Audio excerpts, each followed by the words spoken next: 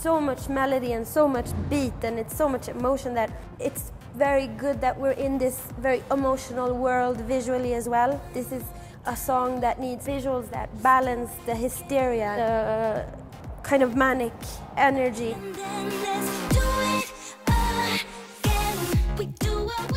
There's a lot going on with this video. There is a story here. There's uh, ecstasy. There's agitation.